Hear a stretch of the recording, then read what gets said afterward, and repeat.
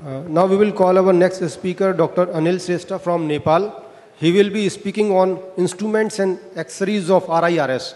Dr. Anil. Uh, very good morning, my seniors and my friends. I bring warm greetings from Nepal. So I'll be talking on uh, instruments and accessories uh, for RIRS. Uh, so, but mostly I'll be covering the recent uh, current trends and updates of uh, scopes that, that we use for RIRS.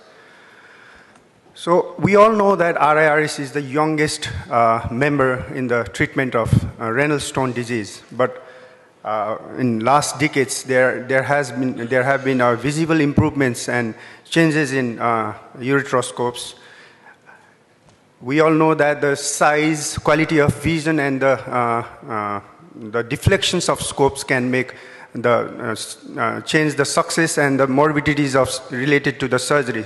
So obviously there are significant improvement in all these aspects of the uh, of the scopes, and obviously uh, there, the new single-use scopes have been introduced in the market. So when we talk about the size of the scopes. There are uh, fiber, optic, fiber optic and digital scopes. Uh, the uh, so-called first generation or early scopes, they were a little bulky, up to 10, 10 uh, and 10 plus French.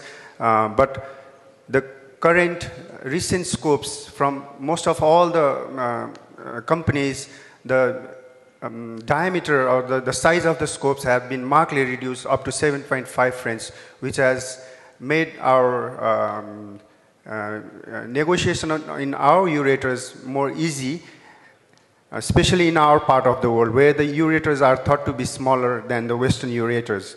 So the, uh, the current trends are smaller tip uh, fiber optic scopes up to 4.9 French from Olympus, and most of the scopes are around 7 to 8 French uh, size. When talk, talking about the digital scopes, Digital scopes are uh, uh, slightly bulky than uh, fiber optic scopes, but again, the size are getting smaller. The size, size is getting smaller, and most of the scopes in the markets, they are around uh, from 8, 8.4 French to uh, 9 French in size. Uh, so talking about the quality of vision, quality of vision, obviously digital scopes are superior in comparison to the uh, quality of vision in terms of uh, when we compare with a fiber optic, fiber optic scopes. Uh, again, the cost of the digital scopes are another issue. Uh, but uh, there, there are, uh, so far, there are very few, few studies which, which has compared the success rate or stone clearance using fiber optic and digital scopes at, in 2010 and 2013 by Somani et al. and Binbay. But uh, there was no difference in uh, stone-free rate when, uh, when the surgery was done using uh, digital or fiber optic scopes. But the operative time was significantly shorter with uh, digital scopes. So, so uh, if, if you have to buy only one scope for the stone disease, then I think fiber optic scopes is still, still is a, a good options. But if you want to do, if you are doing a good number of upper tract TCC, then digital scopes would be better. There is a, uh, there is a very interesting study uh, came from a Petra group in, from Europe. Uh, they have compared uh, vision, uh, vision of different available scopes, around uh, eight, eight different scopes. And what they have found is Flex XC from Karl Storz has the best image quality in terms of uh, uh, image in different modes with a, with a they have compared the XC in two modes, white light and Clara chroma, so-called Clara chroma mode. And in both the modes, this scope has proven to be superior in terms of vision. So when we talk about deflections of our uh, flexible scopes, uh, most of the modern scopes, they have uh, quite good deflections ranging from 272 to 275 degree dual upward and downward deflections. Uh, uh, so uh, that, this has made uh, these uh, scopes very useful to negotiate all the difficult calyces, including lower, lower pole calyces, horseshoe kidney, and abnormal kidneys. So both the digital and fiber optic scopes in market at present time, they have good deflections. Whereas uh, previous generation scopes from different companies had only limited deflection, like uh, 180 degree deflections upward. Uh, these scopes are no more available in the market, but uh, few, uh, we, we still have the scopes, so we, we still use these scopes. So another study that was conducted uh, in Europe uh, to compare the uh, end-tip deflection of flexible ureteroscopes using different scopes to negotiate the difficult lower pole.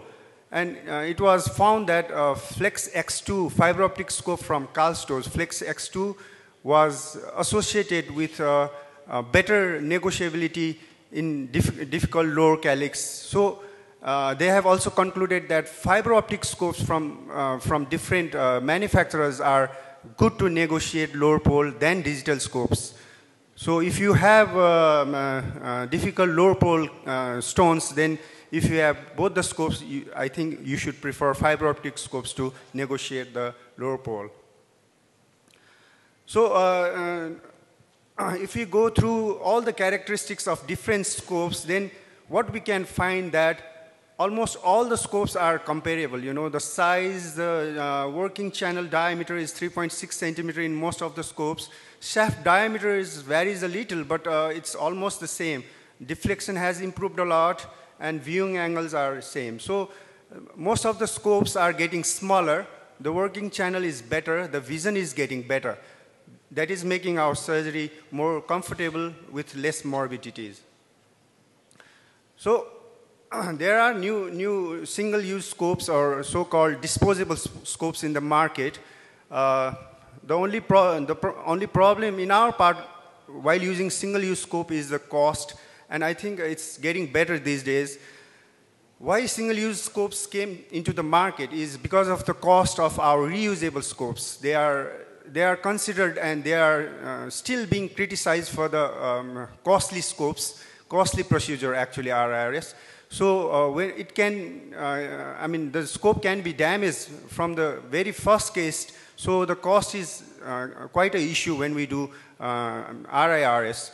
Sterility and the repair issue in our part of the world, if your scope gets damaged, then we have to send it back to Germany or uh, near countries to get, get it repaired. So these are the issues with reusable scopes. So so single-use scopes are, uh, are uh, uh, I mean, finding the very firm place in, in the market, especially when we have to do difficult cases like lower pole cases, horseshoe kidneys, when we have to deal with larger stones, uh, when we have a seropositivity case or if you have a resident training program when, when you have to give your cases to your residents then single-use scope can really be handy.